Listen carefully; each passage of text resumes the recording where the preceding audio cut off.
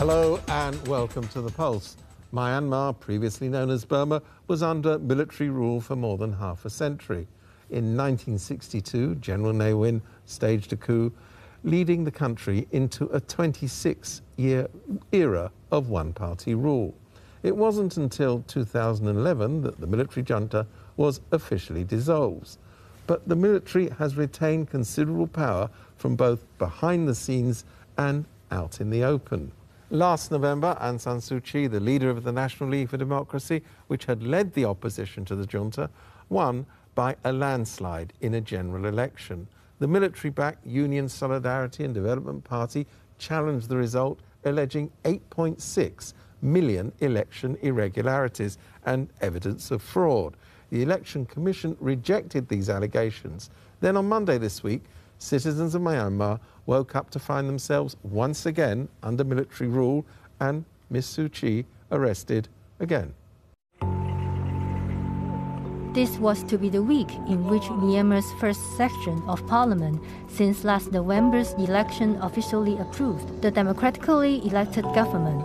Instead, the military has detained Aung San Suu Kyi, President Win Myint, and other elected officials. On Tuesday, the military-owned television station Myawaddy TV showed Commander-in-Chief Min Hlaing holding the first meeting of his government. A one-year nationwide state of emergency has been declared. Soldiers have been deployed across the city of Yangon. In the early hours of the coup, internet and telephone services were cut off. But there has been resistance citizens have banged pots and blared vehicles' horns in protest. More than 190,000 people joined a civil disobedience movement's Facebook page to register their opposition. Facebook itself removed the military TV network's Facebook page. In turn, the military has blocked Facebook and other social media. On Wednesday, medical workers from more than 80 government hospitals went on strike. Some wore red ribbon or showed a three finger salute in support of Aung San Suu Kyi and say they do not recognize the military regime as their country's legitimate government. The Pulse talked to government hospital doctor Steve in Myanmar, who has joined the civil disobedience movement. His identity is concealed. Uh, we support another party you know. NLD party uh, represent the red color represent NLD party. We have the we have the similar event in the past, which the military doctor wants to take over our places. We just don't want to serve under the military service. I even can tell um, my feeling. I'm angry. I'm sad. The democracy will be lost totally if they take over this place. We will never get democracy again. We will never see our future we will get the only dark side. Everyone will feel the same. They want the freedom. Well, with me to talk about the coup in Myanmar, uh, Ian Holliday, Vice President of the University of Hong Kong, whose research focuses on Myanmar politics, and John Mak, a social entrepreneur based in Myanmar and in Hong Kong. John Mak, can I just come to you first? Obviously, you're working with people on the ground in Myanmar. What have you been hearing from them since the coup's taken place? I think um, it was pretty universal, um, universally in shock um, to start with, um, and then it you know, uh, followed by a wave of uh, disappointment, um, but followed by a now a sustained uh, determination to resist. Um, I think I think a lot of people somehow felt that this was coming, but when it came, it was still uh, a shock to them. Um, you know, years of progress now rolling back. Um, and I think this sentiment is felt across society, regardless of uh, um, sector or, or, or, or, even ethnicity. I, I, think it's a, it's a pretty um, universally. But do you think this will actually bring people back out on the streets in, in the way they were about 20 years ago? I, don't know about the streets, but I know at least for now, a lot of people are committed to the resistance. So within a few days, we have seen um, organized um, uh, movements of uh, uh, um, civil resistance um, on the part of uh, first medics um, going on strike, uh, and then increasingly um, a lot of civil servants, both in Rangoon and uh, Naypyidaw, the capital, uh, have been going on strike, and they have made that a, uh, uh um, you know, they have made that a, a public declaration of discord. And actually, as recent as today, I've heard from some reports that some diplomats are beginning to consider defecting even. Um, Burmese diplomats stationed based abroad. overseas. You mean? I've yeah. heard that there is uh, uh, uh, one based in Washington um, that might have defected, but we shall see. And can I ask you, um, Ian Holliday, why do you think at this time, after a decade of, of relative, well, I don't think it's been full democracy, but relative democracy, have the military decided to go back to their old habits? It is puzzling. They, they designed this system. It depends on the constitution from 2008, which was put together by really the military and, and their backers, uh, their supporters in the society um, it has been going, we would think, very well. They've been able to, in some ways, uh, move the regime on from a direct dictatorship, from a junta, which is what we had from, for 20 years, from the 1990s through the 2000s, into something which the wider world is prepared to engage with. Um, investment flowed into Myanmar. Mm. Myanmar again became not no longer a pariah state, but was in good standing in international society. So it is puzzling. Mm. Um, it seems that the, initially the military didn't seem to be too concerned about the results of the general election. Mm-hmm. Um, its, its, its allied party, the USDP, was, and immediately um, floated the, the allegation of um, fraudulent election. Uh, it took the military a few days to sign up for that, mm. but they seem to have become more and more convinced that there have been irregularities that have favoured the NLD, um, there were some irregularities. It's, it's almost impossible in Myanmar. Um, everything is paper based, there's no computer based uh, electoral list. So it's conceivable for individuals to register in more than one township, for instance. So there, there are some irregularities, but broadly, most people would say this was a free and fair election. But the military seems to have become consumed by this idea that um, an injustice has been wrought. Mm-hmm. And behind that, I think there's, there's, a, there's a feeling that the NLD is becoming uh, a dominant party, a dominant presence in Myanmar politics. And Aung San Suu Kyi herself is obviously a very charismatic leader with a lot of support among the people. And this is something that the military, which likes to be the one that holds the ring and calls the shots, mm. is finding more and more difficult to come to mm. terms with. Um, Min Aung Hlaing, who is the commander in chief, went public with his concerns and also asked or demanded that the NLD um, look into some of the allegations, and they declined to do that. And there's also suggestions that he personally was keen on the coup because, you know, he's at retirement age and there'd mm. be no role for him in, in, in the government. I mean, do you buy any of that?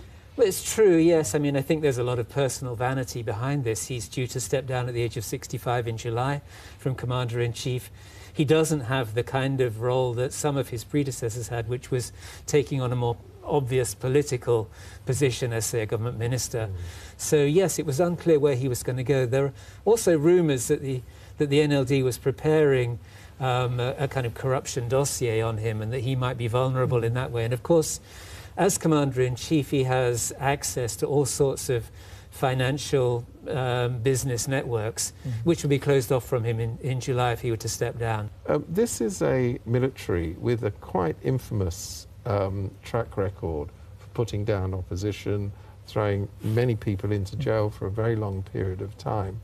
I mean, do you think that this time round, again, it will be possible for what was essentially a regime of terror to work? You know, we are living in the 21st century where technological development, um, advanced um, technologies of communications, um, you know, are much more advanced than, you know, back in the days of the 80s. Um, so I think the ability to mobilize and organize is, is very different from the past. And not to mention, there have been various um, protest movements um, in, you know, in, in Southeast Asia, uh, in East Asia, in fact, over the past few years. So there have been a lot of cross learnings uh, in terms of organizing tactics, in terms of what works best, in terms of how to avoid um, disunity, etc., um, in terms of decision making processes. I think it's too early to say whether the movement will succeed. And then we have the question of Aung San Suu Kyi, who, who has been losing a lot of prestige in the international community, but I would imagine not at home.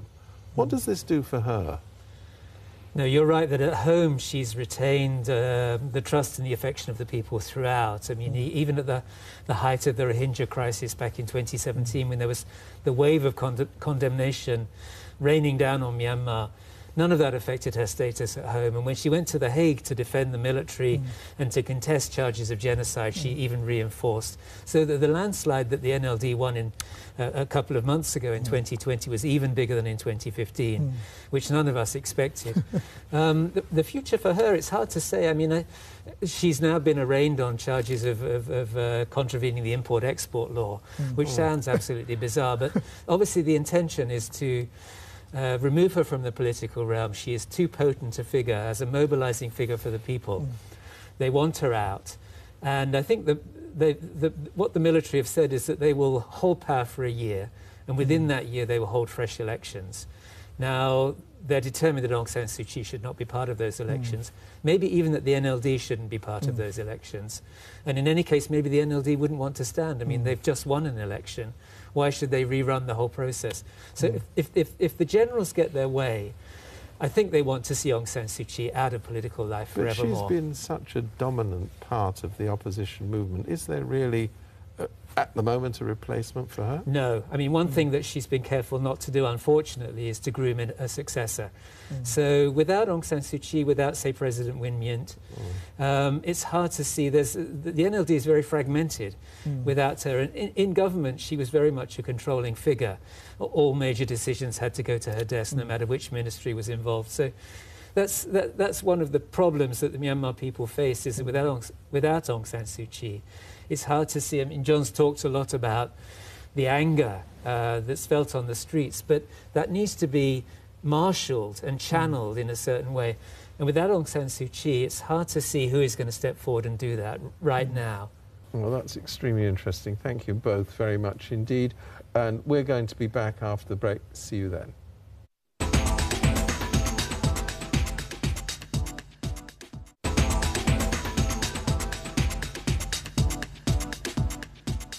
Welcome back. Last week, the government announced that civil servants should prepare to resume providing basic public services after, in many cases, working from home due to the fourth wave of the COVID 19 pandemic. Many are returning to the office with an important decision to make. They're expected to sign a loyalty pledge before the Lunar New Year, and it's left some feeling conflicted and even confused.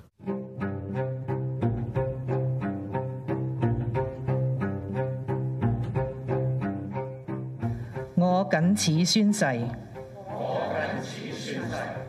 本人为中华人民共和国香港特别行政区政府公务员。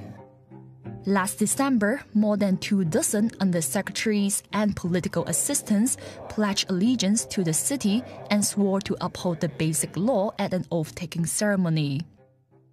我期望大家以身作则，为全体公务员树立良好嘅榜样， 拥护基本法同埋效忠香港特别行政区呢个明确嘅要求。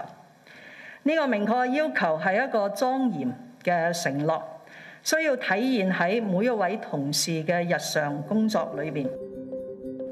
Last month, the Civil Service Bureau issued a circular requiring over 177,000 civil servants in the city to sign a declaration of allegiance to the government, promise to uphold the basic law, be dedicated to their duties, and be responsible to the administration. Civil servants must return the signed form within four weeks.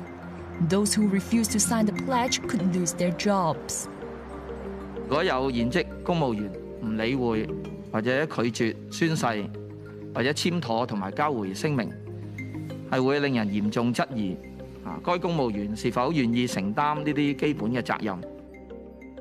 Apart from the declaration form, an explanatory note on the contents of the oath or declaration has been provided for civil servants. The document refers to behavior by civil servants that may constitute a breach of the oath or declaration of being dedicated to their duties and being responsible to the government of the HKSAR. This includes a reference to anyone who exhibits improper conduct that aims to undermine the HKSAR in the governance and administration of Hong Kong and seeks to incite discontent in the society against the administration, thus instigating or aggravating social instability. Civil servants may also be considered in breach of the oath or declaration if they express personal views without having regard to the appropriateness of the media or channel through which the views are expressed, thereby causing the community to associate such views with their official capacity as civil servants and possibly cast doubts on their impartiality in the discharge of duties or on the principles and core values upheld by them as civil servants. The administration says such requirements are necessary and reasonable. 我亦都睇唔到一个宣誓或者系诶签署声明嘅要求会影响诶同事诶嘅士气吓。诶事实上，今日公务员嘅招聘咧，除咗喺警队同埋惩教之外咧，大体上我哋系冇面对咩嘢问题。